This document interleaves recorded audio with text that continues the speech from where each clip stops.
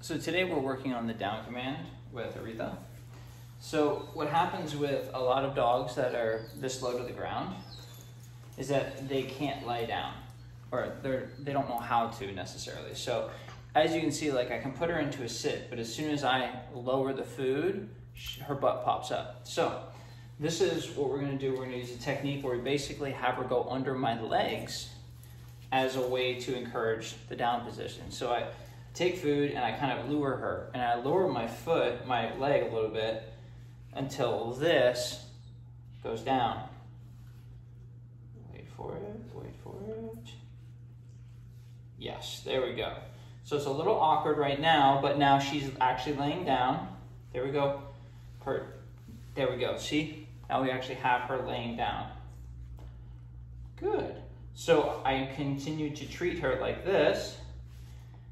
And then I'll kind of pull her up. So now she's standing and I'll try lowering her to the ground.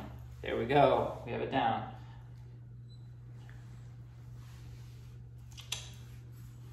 Lower to the ground. Till that, but yes, now she gets the treat. Good.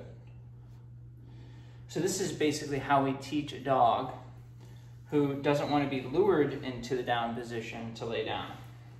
And over time, they learn that the down position means lay down. So as you can see, it's a little too early to have her in the open air like this, right? See, not lying down. So, again, under the foot, help encourage her a little bit. Yes, there it is, okay?